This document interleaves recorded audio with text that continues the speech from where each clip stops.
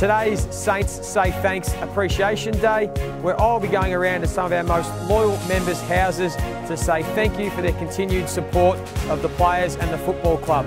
Obviously, we know it hasn't been the greatest of seasons, but I know the players really appreciate those supporters and members that stick with us through thick and thin, and we know there's going to be better times ahead. I've got a bag full of goodies provided from our great friends at Linen House, so let's go and say hello to some of our loyal members. Joey, how no? Hello. Oh, hell. Are you, are you Zach? Hello, Zach. Joey, how you doing? You know how I knew your name? I found your footy with your name on it. I saw your goalpost out in front. How cool was that? Go on, big goal. Oh, yes. Good kick. I came to say happy birthday.